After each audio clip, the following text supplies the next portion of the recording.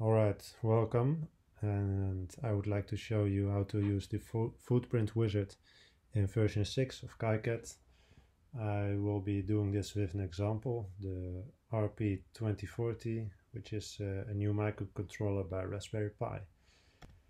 Um, this video will be uh, made up out of these chapters. If you just want to see how it is done, you can skip to the example but the extra explanation might be nice for beginners. And in the end I will round up with some question for you and some uh, a roadmap for the future of this channel. So for the situation in your design you will need a new part. And of this new part you have uh, its datasheet and of course you will know if it's a new footprint uh, or if it's not uh, if it's new then you will need to decide if it's uh, unique and with unique meaning it's uh, unique dimensions or um, if it's uh, a breadboard of a development board or something.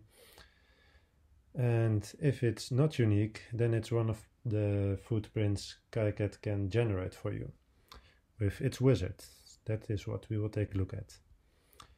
And to come here, you will open the editor, create either a new library or use an existing one, then generate the, the package, fill in the dimensions, export it, and then finish it up. So the content of this um, preparation and the example will be made up of the same steps. So you will need the datasheet of course and in this you will find the package name. This is what decides which option uh, excuse me which option you choose in the uh, wizard the QFN in this case. Uh, the table with its dimensions you need its uh, this is uh, a giveaway for you to see um, if you actually need uh, the generator or you can use an existing one. In this case, it's not a standard size, so you will need uh, to make your own footprint. And here are the dimensions of the footprint. So note that there are dimensions from the footprint and the package, which are two different things. The footprint is actually within the PCB, while the package is the packaging of the chip itself. So that's the black box or the black piece of plastic. And finally, you'll have uh, the numbering of the chip. This is to check if you uh, KiCad lays it, does the numbering right. So to actually get to generating the footprints in this example, first um, I will show you in this example that um, how to get there. And I already opened a product project and only make this library for this project so it doesn't interfere with the rest. And that's easy for when you have a unique chip. And then I chose the QFN which we got from the datasheet. Uh,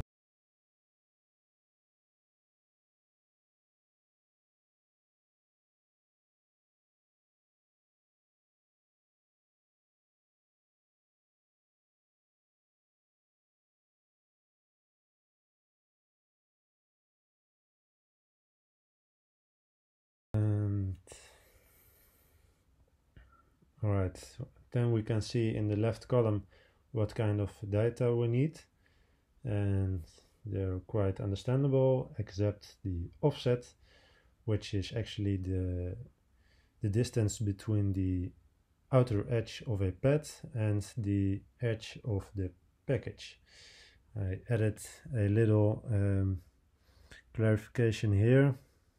This is 3.7 uh, 0.375 and I got that from the calculation from the footprint size minus the package size. So that's 7.75 minus 7 uh, divided by 2 and then you get this number. I will show you.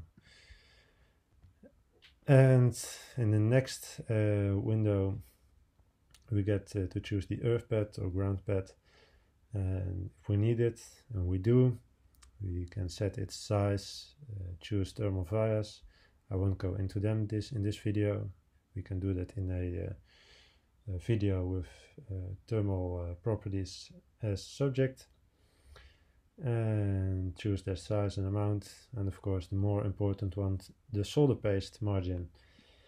Um, so for when you um, reflow these chips you will need the solder paste and I made a calculation for this. You can use this the length of the pad itself. So there's this dimension divided by 2 and then the rest and the percentage is actually how much of the uh, area of the um, pad you want to be have covered with uh, paste. I just usually use 70 and the two actually get from the these divisions. So if you have more here then you will need to change this too. Uh, so to fill it in the numbers are obvious we got them from the description here uh, sorry we got them from here we have the pitch which is the distance between the pads or from the center of the pads the size of the pad himself uh, the length from here to here and the offset like I said it's this 7.75 minus 7 uh, 7 is the size of the package. So then we have like um, uh, yes and now we just need to divide it by 2 that's what we get and we always use oval because it's easier to solder and the ground pad its dimensions are given as well.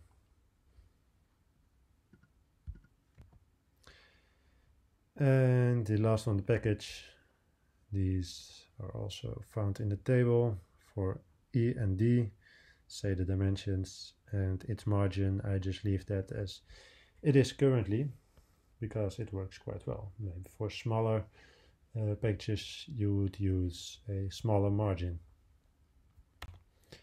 So then you can export it to see uh, the actual result. Here we uh, see it. We can see the pin 1 marking in the upper left corner because the silk screen is different from all the other and the margin around it and the yellow line is the actual footprint of or the actual packaging and okay. And here's the 3d model. So you can check your paste margin and all the other properties here. Um, we're not done yet. That's uh, why we get to set its properties now.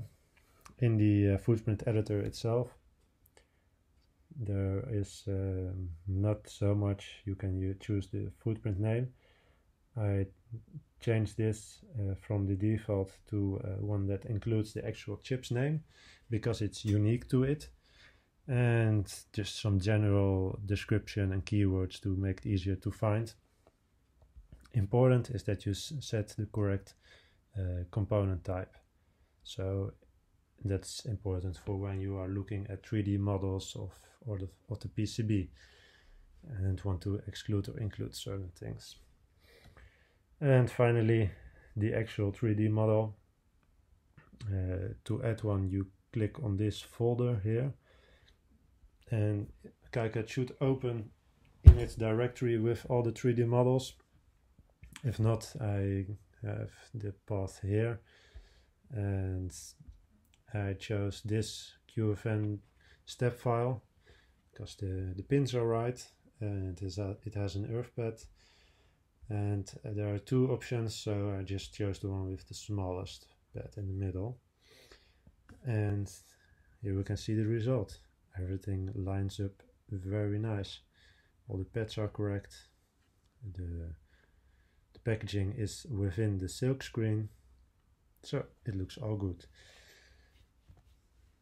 Then you can save it and you are practically done. For those who want to know more about me or the it is that I am currently developing or setting up a platform to learn more about KiCad. It's learnkicad.com. And to make this as good as possible, I of course need your help uh, with feedback. So I will add a form by which you can add uh, three things you like from this video and three things you think could be improved. And you're very welcome to say anything you want.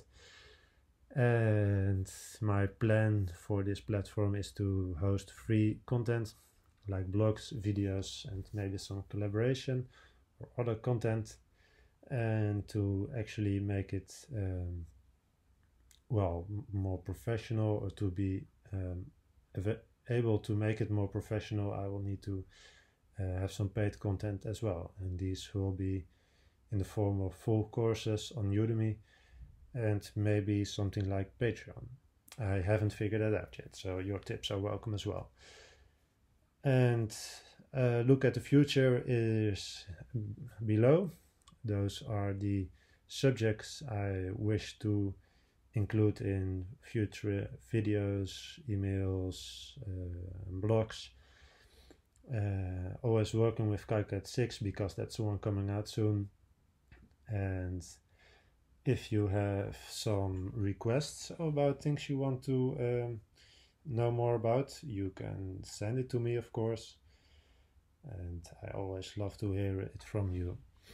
So, to round up, I want to look at some bloopers I made uh, during the making of this. Uh, the paste margin in this case, it's those four little dots way too small. It doesn't work. Um, after this, I look at what's wrong and I corrected it, and actually found some uh, official guidelines for or inspiration uh, on how to actually choose how big they need to be. So I will share that resource with you. And then a final one is using models from the internet, uh, not from KiCad, but from Ultra Librarian.